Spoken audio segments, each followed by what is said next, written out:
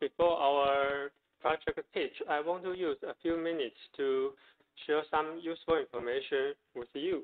So first, I have mentioned that this book can be downloaded by yourself and create a PDF using some tools. But I found that someone did it already. So if you like, you can just click the link and then download the PDF. It is well organized.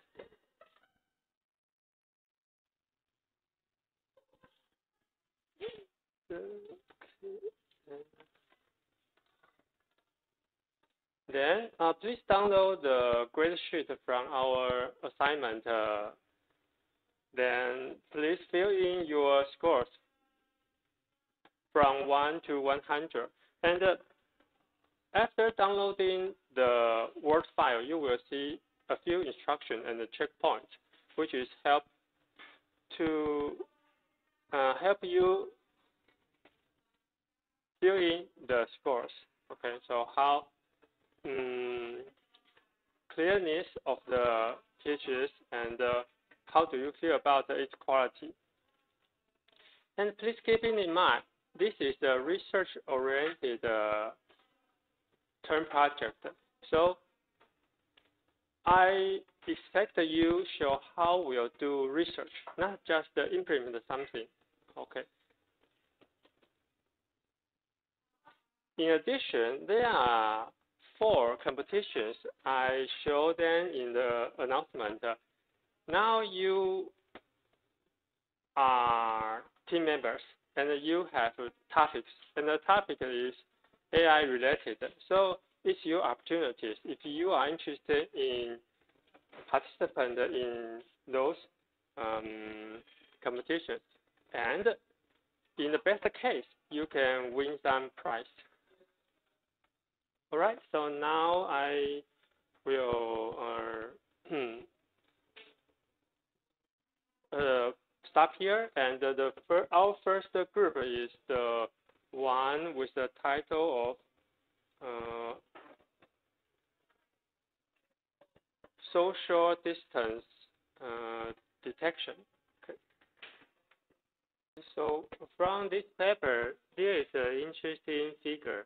This is the number of numbers of papers published addressing the same problem from 2010 to 2019. Uh, sorry, 18. Okay. So this is a research area. There are researchers consistently working for this topic. So for the group who is interested in this topic, there are many papers in the history, in the literature you can survey. Okay, and let's take a look uh, in this paper. So ask yourself a few questions. Did they release some data sets? If there are, then it will be very useful for you. You can just use their data set. You don't need to spend the time and effort to compile a new data set. And then take a few figures. Okay, for example, if they use a fixed camera to do their research, then could you improve it? Say, I remember they mentioned that they want to use a cell phone. Of course, it will be a more convenient uh, camera rather than every. Uh, so it looks like uh, here looks like a lamps, and uh, if you can do the same thing using your cell phone under different uh, lighting conditions, then it will be an improvement uh, than the paper because the research published in this paper, they use a fixed camera and it may be a high quality camera. I, am not sure. You need to check uh, the details in the paper. Okay. And uh, okay, I I am not sure what the figures show. Maybe their camera can change the viewing angle. I, am not sure.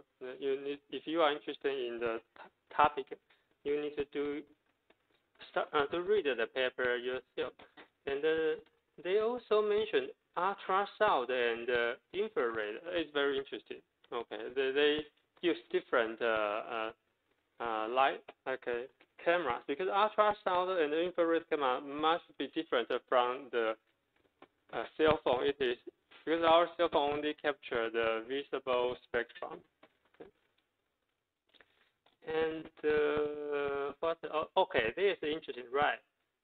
Characteristics of data sets. So there are they mentioned those data sets. This is published in 2003, 17, 18, 16. Okay, so there are at least seven different data sets that you can use. Okay, for the group of uh, fruit uh, inspection, right?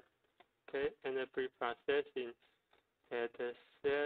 Okay, it looks like a long paper. However, I want to uh, show you the information. This is a beginning point. Once you use Google Scholar or any kind of search engines to find related papers, then you can understand them at first ask you a few questions. What can I improve? Can I use their method on different data sets? So do they um, use fruit available in Taiwan? Uh, I don't know. So, but these are research directions you can uh, pursue. All right. So let's go to another topic. So this is fruit. Okay. All right. Okay. For YOLO V4 group, okay, I watched the video. Um, I want to introduce this video. So the histories YOLO, YOLO V1, and YOLO, YOLO V1, YOLO V2, and YOLO V3 were published from the same team. And but however, the first author, I I I forgot his name. Let's check it. Ah, and uh, he didn't want to continue the YOLO development. So in his project, YOLO V3 is the latest version. And the YOLO V4, okay, the project uh, was um, initialized by uh, Professor Liao. And Professor Liao is the director of Information Science Institute at Academia Sinica. Okay. So, but he was the uh, primary investigator. The real development uh, development work was done by another um, Dr. Wang Wang Jianyao. Oh, so this video is the uh, explanation how Dr. Wang Jianyao collaborated with, because there are three, if you, oh, okay, I remember YOLO V4 is just an arXiv paper. It has not been published in any computer vision conference because it is still under development. Every few months, they will add few some features or just improve the performance. And uh, in this video, they explain why and how they did it.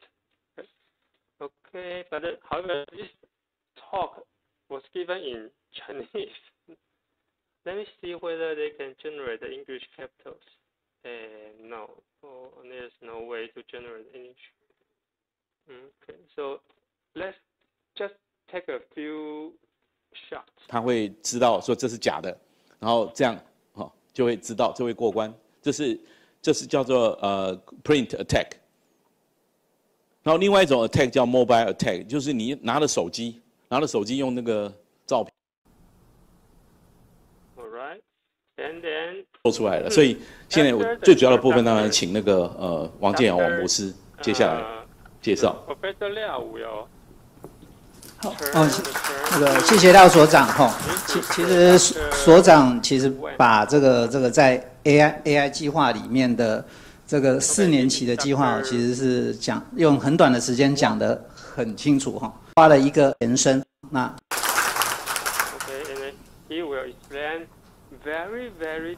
好，嗯，各位好。那我今天要报告的内容就是 YOLO V4 的技术深入与未来方向。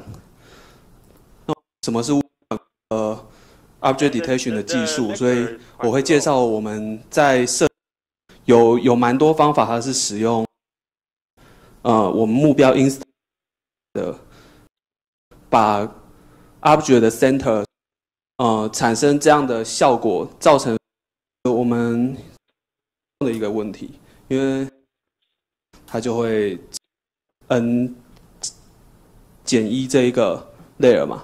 可是因为它现在变成是像 RecurNet 或 DenseNet，它都是把它加在一起或 concave 在一起，所以它这个 gradient 会同时传到所有的 layer，就是它会同时传给它，同时传给它，也同时传给它。那所以我们就会发现说，哎，我不管是产生 x1 的 convolution filter，x2 的 convolution filter，或者是产生 xn 减一的 convolution filter，它都受到相同的 gradient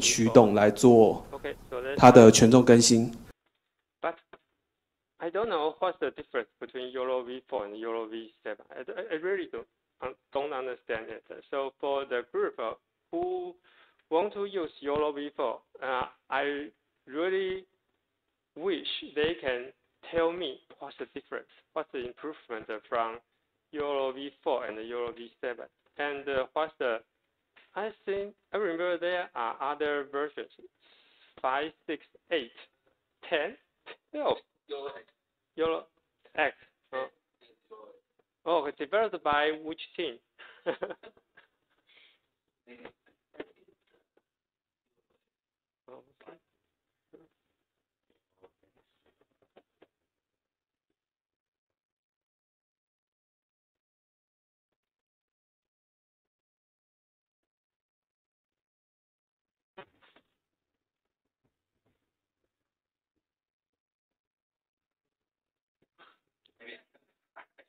No problem, no problem, no problem, no problem. Okay, so um, there's also an interesting question. There's a background survey. Okay, if you want to use YOLO V4, fine, but why not the YOLO 7 and 8 or 10? Oh, what's the difference? What's the pros and cons of those models? And uh, since we are going to do research, so let's figure it out. Okay. And so, of course, I also want to know another question. I remember the best uh, advantage of YOLO is it can run very fast, generate the real-time feedback from your image input. But it is still a generic uh, object detection model. So do we have other choices? I want to know the answer. But uh, um, I should say, if the group can answer the question, it would be great. Okay. Or if you want to publish a paper, or if there is you are you want to uh, participate in some competition, and the judges may ask you the same question, then how would you answer? Okay. So I'm not sure. Let's try. I, I'm not sure whether there are some uh, pedestrian detection algorithms. So let's try Google Scholar. Google Scholar and uh,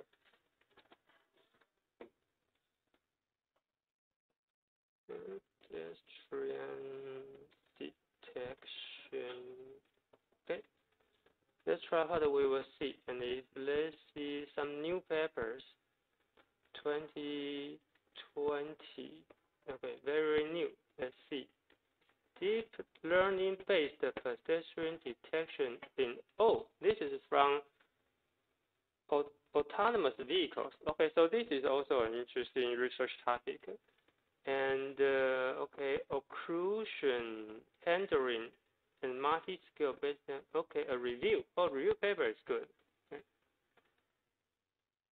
So, where was it published?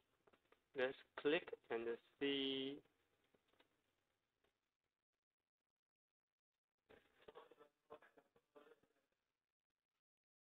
Okay, from this third, it is a LiDAR camera fusion. So uh, if you want to do social distance detection, you can use not only your uh, RGB camera, you can use also other devices. So this will also be a research direction. Okay. Whoa.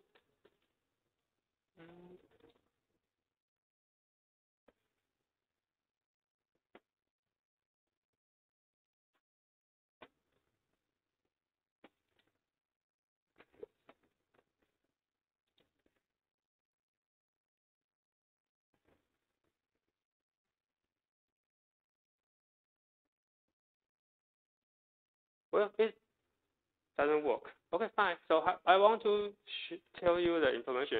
This is the starting point. Using some search engine tools, you can find a lot of papers related to your research topic, and you can then try to find opportunities for your um, research direction and uh, term project.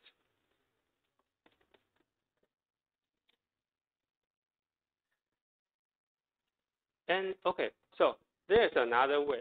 You are going to implement a social detection system. So are you sure vision is the best uh, method?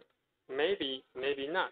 So try to use social distance detection, the keyword, and uh, let's see whether we can find.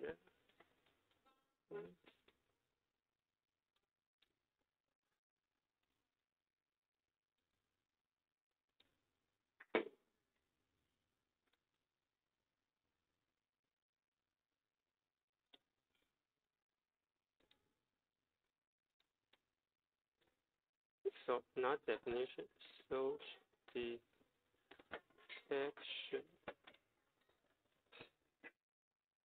Okay, there are some social detection related papers. Hmm, real-time social distance detection. Okay, try this. It's a real-time social distance detection and use deep learning. And let's see what the paper talks about. Oh, okay. See, from the abstract, you can see the motivation is almost the same as yours. They want to help people keep social distance during the COVID-19 period.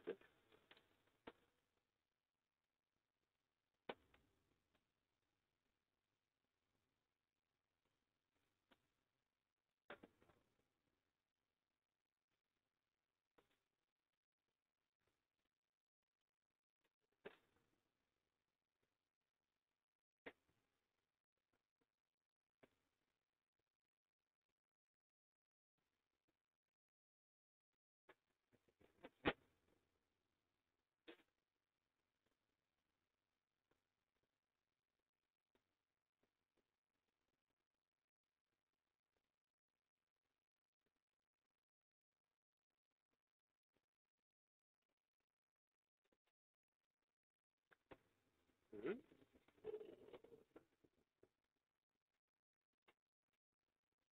Why is it so slow?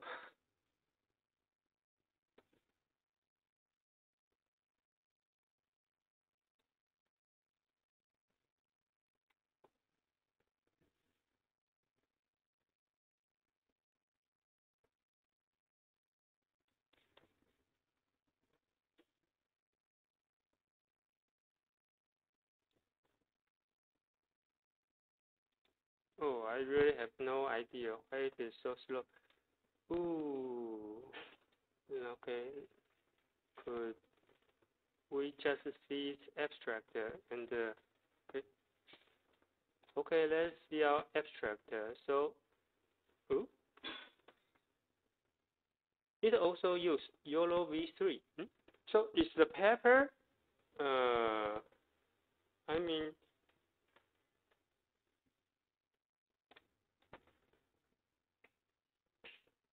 I'm not sure. But however, since you are going to detect a social distance and uh, you are going to use YOLO v3, so I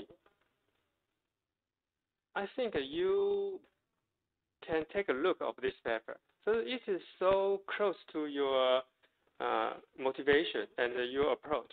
Okay. And from this paper, this where is it published? Oh, it's very it's a very new paper, just published last year. Okay, so there are maybe a lot of references, so you can take a look. Okay. Okay. Oh, this is the YOLO V8, V7, V3, V4.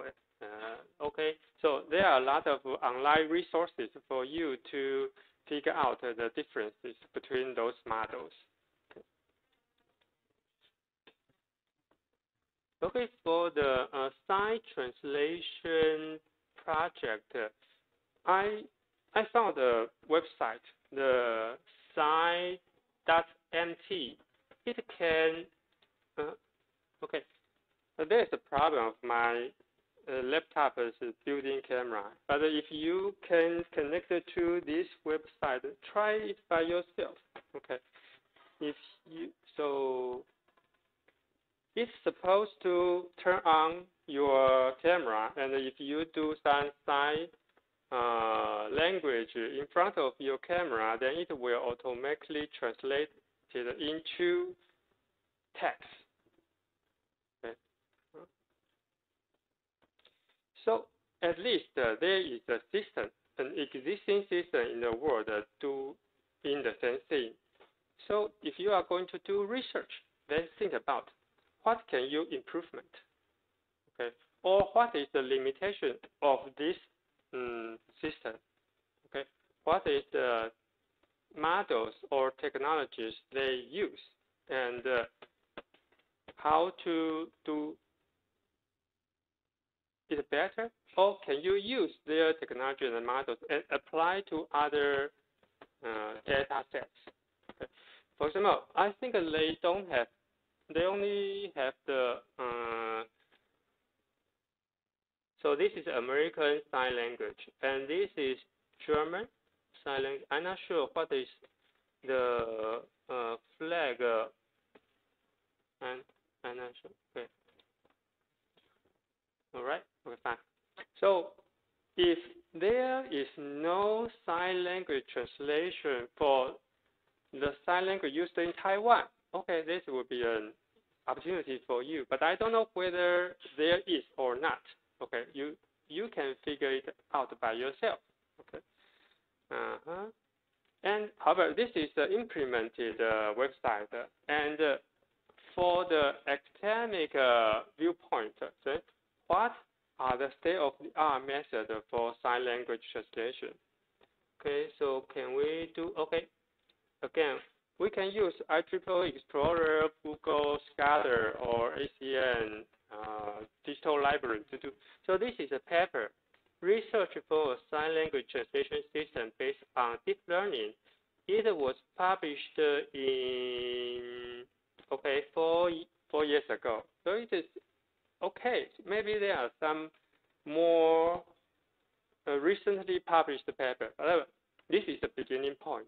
If you are going to study the topic of sign language translation, okay, take a look what has been done in the literature. Okay, for the face recognition uh, group, okay, face recognition is always a very uh, active research topic. So from CVPR this year, those paper was just published. Search uh, from this open access website and uh, key in the keyword face recognition and click the search. It will show a lot of papers. And uh, if we use the Chrome search text box and there are a few face recognition papers. So uh, one, two, three. So this is the low resolution. This, this is 3D face recognition. And uh, oh, this is attack and uh, biologically inspired. Mm, yeah, many, many related papers. So if you are going to do face recognition, there are still a lot of opportunities. If you are going to do illumination related uh, face recognition problem, so let's see what uh, we can find. Okay. Uh, first of all, there is a dataset called Carnegie Mellon University Multi-PIE face recognition dataset. It's a very large dataset. Uh, the size around I forgot 600 giga or 700 giga. It's quite large. Okay, and then there it consists of images and videos. So it's very interesting because they build up a machine. Okay, so somebody sits in the center, and then there are more than 30 or 40 lamps uh, around the uh, subject from different directions. And uh, in addition to the lamps, there are many different cameras. They will take shots of the subject at the same moment. Okay, so the Multi-PIE means multiple pose, illumination, and expression. Okay, so I have the dataset because um, one of my paper was based on the dataset. If you are interested, I can share the dataset with you for free. Okay, and then you have a very large dataset with different uh, illumination and a different subject, uh, different pose, different uh, expression. Okay, and interesting, there are four. The dataset was built up for different seasons because they want to um, test algorithms not just for one day. They just they want to test the uh, the their algorithms for for a uh, specific time of differences because for just a few weeks later, some someone's hair becomes longer, someone removes their uh, uh, mustache or etc. So there's a change of the appearance. And of course, we need to figure out what are the state-of-the-art method for the problem. So if we use the keyword illumination invariant face recognition, okay, we can find them. I, I, I, let's try, I'm not sure. Okay, so this is a paper, and uh, okay, if I download the paper, so it was published in uh, four years ago in WACV. Okay. Uh, so let's take a look. What are they did?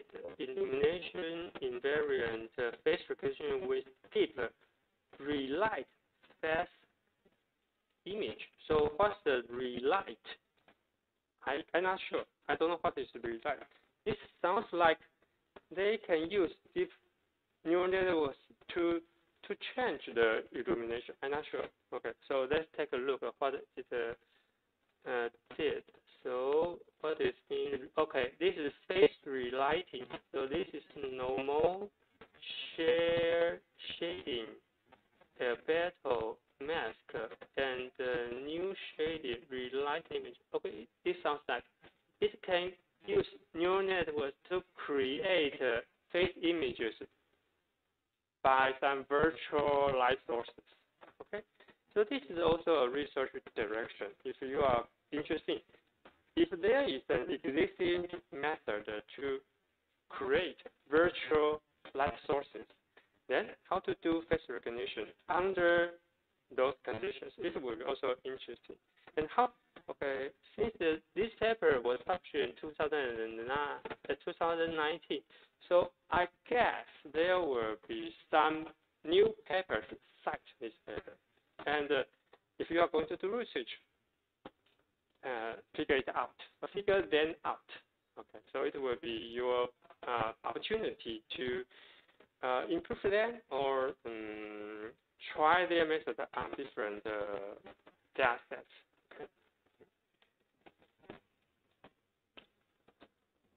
All right. So uh, so let's my let's go back to my conclusion. I think you are potential. You uh, want to do research, and uh, if you do it well, it can be your master's thesis. Okay, then you can graduate uh, smoothly. okay. Then okay, now uh that's the end of our project uh, pitch. So let's go back to our lecture.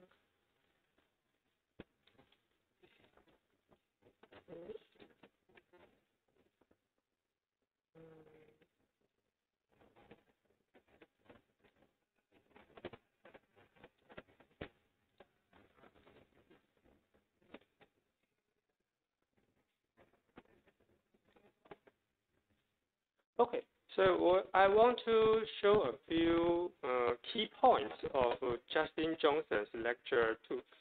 The video is online available, and uh, you can watch it, no problem, and, but it takes your time. Okay, so for lecture two, it uh, uh requires uh, 105 minutes. If you have time, do it. It, it will get a lot of knowledge from the high quality lecture. I, I think his English is much better than mine, and uh, his the slides are also um, better than mine. Okay, so in this lecture he talks about uh, k-nearest neighbor. Okay, so what is k-nearest neighbor? It's just it is a method you can do classification without any parameters. So it's easy to use. This figure is cropped from your textbook. So it means given some existing uh, instances, for example, in this figure, there are three classes, uh, triangle, square, and a circle. Then give a new instance here. Then Suppose we use one nearest neighbor. It will look for in the feature space which one is the closest one to the given instance. So in this case, the star will be classified as the circle class. Okay. But if we change the number of k, in this case, it's nine nearest neighbor, then it will ask the nine neighbors, okay, and uh, vote which is the most highly frequency occurred patterns. So in this case, it will be the square class.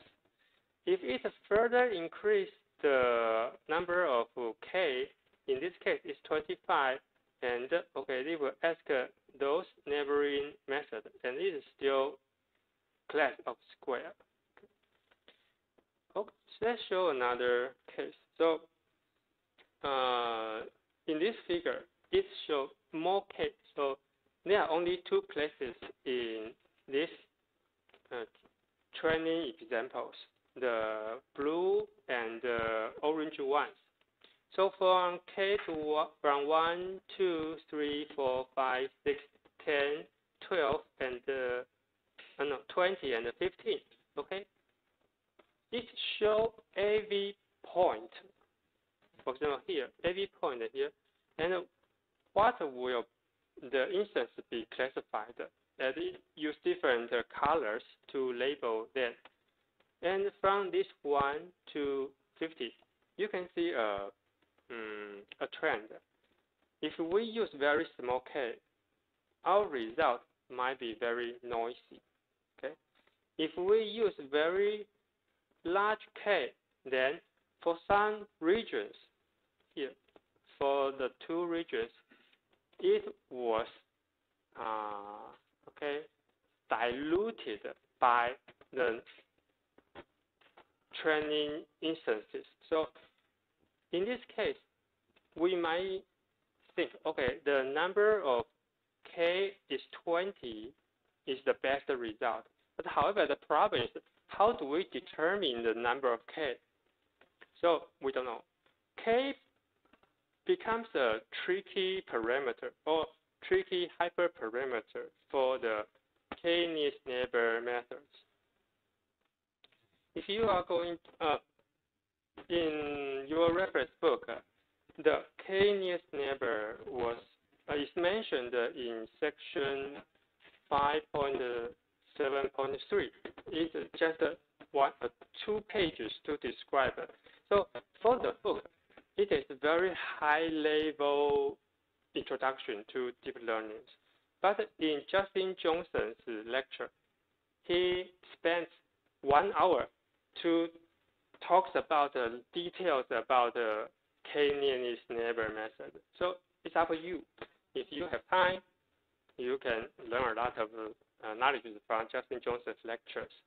If you just want to grab the concept, you can read this paper or your textbook. Okay.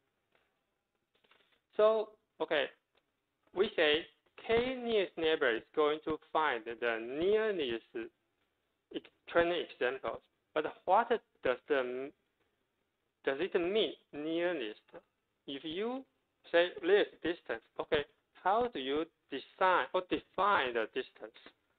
So there are at least two different uh, definitions for distance, the L1 norm or L2 norm. So L1 distance has another name called the Manhattan distance because what in New York City, in the Manhattan area, okay, there are a lot of blocks. There are horizontal and vertical trees and roads to separate those regions.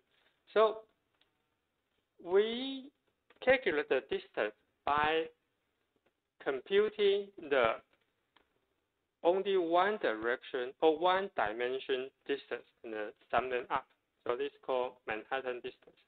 And uh, the L2 distance or L2 norm is the Euclidean distance. It is a uh, distance we are very familiar with for a plane. Okay, so for the circle, okay, every point from the uh, on the circle has the same L2 distance from the origin of the plane. And in this case, the same. Every point on the square has the same distance from the origin. Okay, for image, uh, how to calculate uh, the uh, L1 distance. Okay, given an input uh, or text image, and there are many training images, and take just take one. The L1 distance means you subtract pixel by pixel and uh, calculate the absolute value of the difference and sum them up. So this is the L1 distance. Okay. So for L2, it's the similarly, just you subtract the pixel by pixel and uh, square it up and uh, uh, again summing up and take it to square root. All right, so you will go into train a neural network in your homework three. And uh, there is a fundamental question. How do you decide, given a data set, what will be a fair method to split the data set to train your model and uh, verify the model on the remaining set. So there is a, if you use everything to train your data set, you will have no, okay, no clean test set because your model see every instances in from your dataset. But if you just split your dataset into a training part and test part, Okay, there is also a problem because we train models. We want to evaluate how the model will perform on unseen or unknown dataset. If you just split a dataset into two subsets, then there's problems. You can train and test, but where is the unknown data? You you have to ver validate your data. No, okay, we cannot do it. So the practice to do it is split your data into three different parts. Take a part of it for train your to train your model and validate your uh, models on a validation set. Why? Because in your models, there are parameters you need to turn. You also have hyperparameters you you cannot turn it. You you just need you can just set those values in the beginning. You don't know how to what is the best hyperparameters, just like this one. Suppose k is your hyperparameter. How do you know what is the best k I should use? Okay, so you need to try this, try that, but and you cannot turn it in tune it during your training process. So in this case, it is oh, no, sorry. okay. You don't know what is the best k use, so you use your training set and to try to okay, you find on the validation set, okay, K is good for 20 or uh, 50, etc. Okay, then there is a test set you never see, your model never see, and then you can use your trained model on the test set, then report your result. It will be fair. Okay. So, in if you read uh, many um, machine, I should say, deep learning method, you will see a keyword, five-fold cross validation. It means what? Given a data set, you split your data set into training and uh, test. And from your training set, you pick up a partial of it as your validation. So in this case, the first four folds are training. The fifth fold is the validation set. But however, you can change length, right? So you can change your validation fold as the fourth fold and third fold, etc.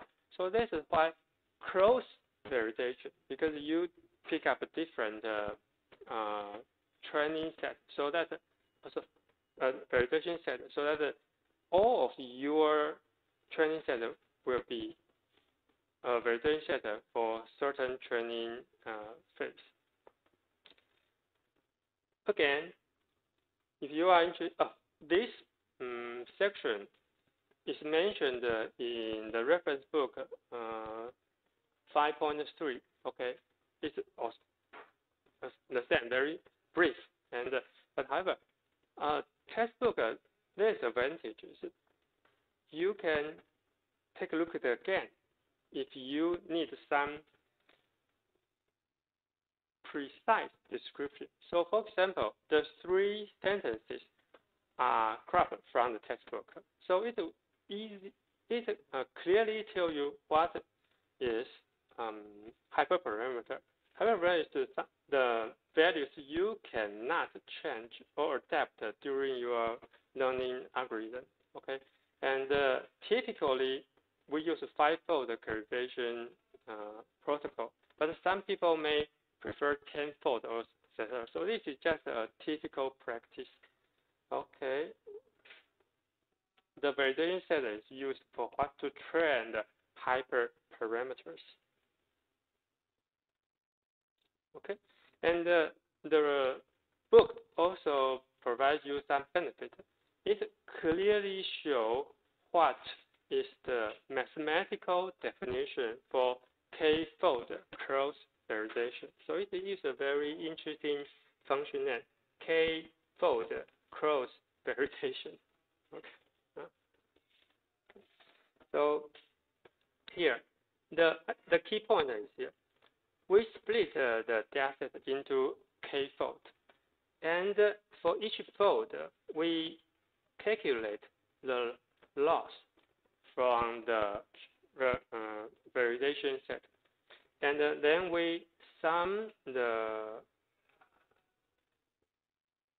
loss together from the um, all of the cross validation. So from the definition, you can know what is the best parameter for the training set. Okay, this turns to be the minimum summed loss for the cross validation.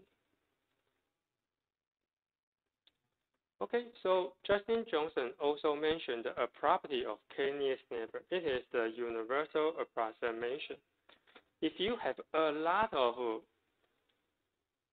training examples or instances, then you can use k-nearest neighbor approximate the real function or the real, uh, say, uh, the, the properties you want to uh, imitate. Okay, so this is example. If uh, there are some training points there, and we use, and there's a real uh, true function as the in blue.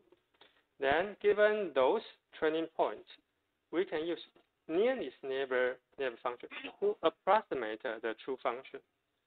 If we have more training points, then this is the result. So it can the k nearest neighbor or just a nearest neighbor function. It is it doesn't have any parameters, but this is very useful. But however, there is a problem is, um, I should say a problem. It's a property of image. So we know images is consist uh, composed by a lot of pixels, and a lot there are many pixels on an image, and uh, for every pixel there are many possible values. Let's see a very simple case, just a image with 32 by 32 pixels, and every pixel only has two possible values, either black or white.